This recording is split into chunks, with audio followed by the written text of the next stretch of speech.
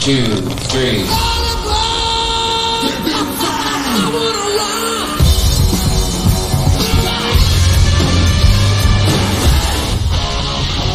Oh, make me over.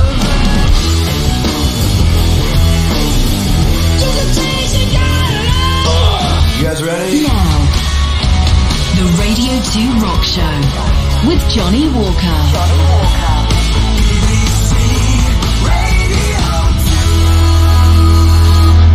The Radio 2 Rock Show. And time now for a look at this week in rock. And we start this week in 1976. ACDC made their live debut in the UK, playing at the Red Cow pub in Hammersmith in West London. Better night, that was a great night. Uh, this week marks the anniversary of the death of two American rock singers. First, Kurt Cobain died at his home in Washington on the 5th of April 1994. And the second is Layne Staley, frontman for Alice in Chains, who died the same day as Kurt in 2002. This week in 2012, the rock world was mourning the loss of 88 year old Jim Marshall, the man who invented the Marshall guitar amplifier. But we're going to focus on this week in 2022. Mick Jagger has just announced plans to celebrate 60 years of the Rolling Stones, but he's also been busy working on his own project. He's got a new track called Strange Game, and it's a theme tune for an upcoming series on Apple TV called Slow Horses. I spoke to Mick recently about the song and asked him how it all came about. I was approached by uh, Daniel Pemberton, who's doing the music for the series, and he said, "Would you be interested in doing the theme song?" And he, he sent me the music, but he didn't have any tune or any words or anything. So I said, "Hmm," but I, I, I, I had read some of the books, so I was like ahead of the game really, because otherwise I would have had to do a lot of homework for it. Um, so I knew I knew what the sort of feel of it was, and I knew what the main character was, and I knew the sort of sleaziness of it, and uh, it was quite easy for me just to ramble it down straight away. I just jotted all my ideas immediately down, and I just threw it together really, really quickly of the atmosphere of the office and the people and the and the characters and so on, and then. Um, just made up the melody. It all happened in like an hour.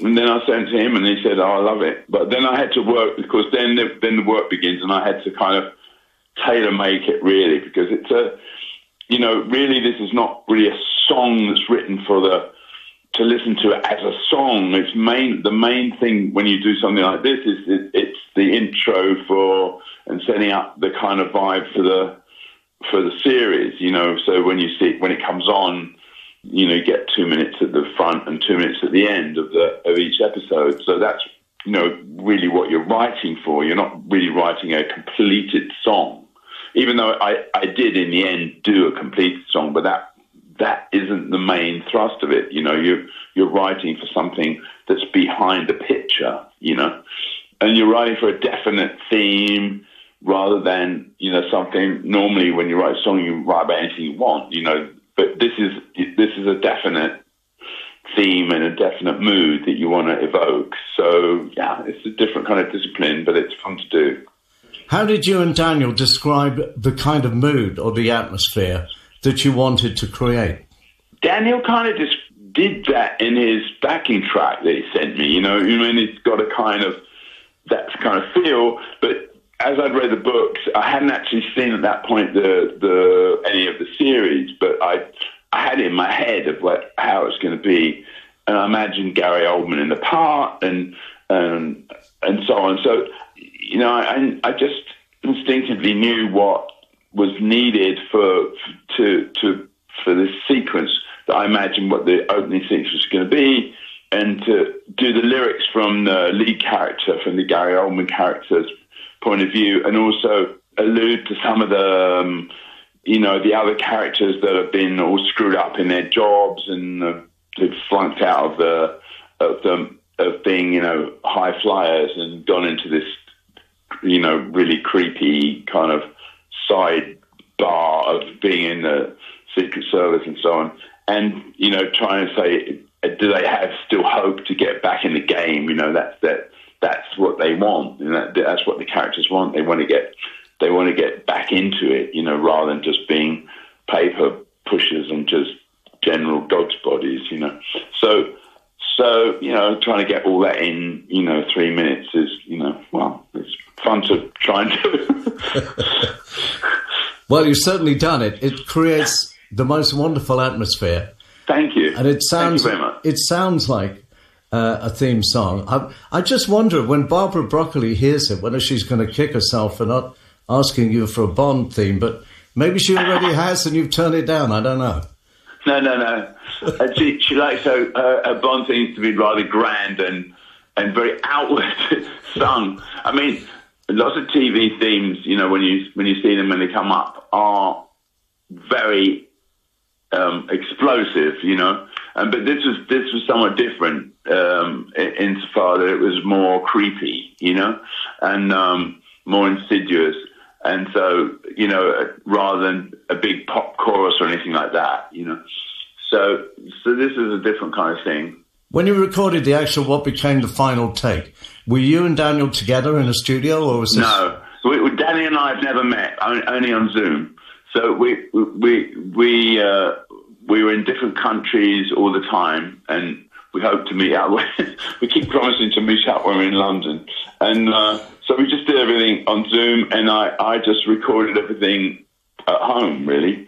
And uh, so uh, we actually we did go into a studio at one point and did some little messing around, but most of it was done at home. And um, and then we just fiddled with it and pushed it around because we, you know, you need lots of, you know, to make the the beginning and the ending, and you need to cut it, edit it, and so on and um, and then and then then I did the whole song um, as a as a piece. Um, that was the last thing that we did was make the song as a piece. Because you said actually the initial inspiration or getting it down was uh, was about an hour's work. Yeah. And the notes that I get uh, about this this song was that you and uh, Daniel worked to get it for a number of months. I, I saw that in the press release, and I said, "That's a load." Um, we never worked for months. I said, don't say that in the press release. It isn't true. Um, I mean, Daniel probably, his work on the whole series, probably, yeah, it, it took months for Daniel to do because he has to do all the underscore, you know, for, for, for several series, you know, so it took him months, but it didn't take me months to do my little bit. um, it took it took me, you know, a very short time. But that sometimes that's great. I mean, I love doing things but if it comes to you straight away, it's really much better, you know uh, yeah, you have to do a bit of craft and you have to do editing, and sometimes that takes a while. And and Daniel had to do, you know, quite a lot of editing to make it fit into the into the intro and so on. But um, my stuff was done pretty quick. Well, your little bit, as you say, turned out rather well. It's a great track. Thank you. Very, that's so much. That's so kind of you, Johnnie. Thanks. Thanks, Johnnie. Yeah, all the best. Bye-bye, mate. Bye. One, two, three.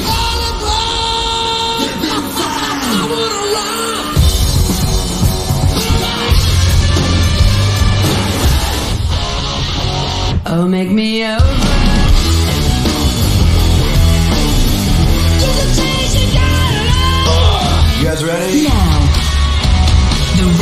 The 2 Rock Show with Johnnie Walker. Johnnie Walker.